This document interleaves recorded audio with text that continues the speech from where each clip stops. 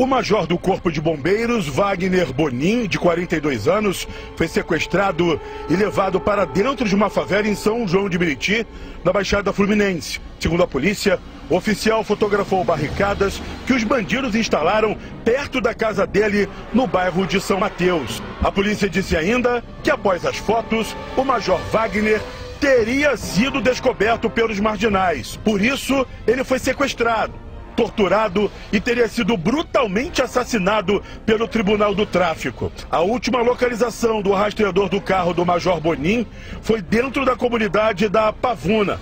A partir de denúncias, a Polícia Militar e os bombeiros fizeram buscas e encontraram um corpo carbonizado no Parque Colômbia, na zona norte do Rio. Os restos mortais do oficial foram trazidos aqui para o Instituto Médico Legal na Leopoldina.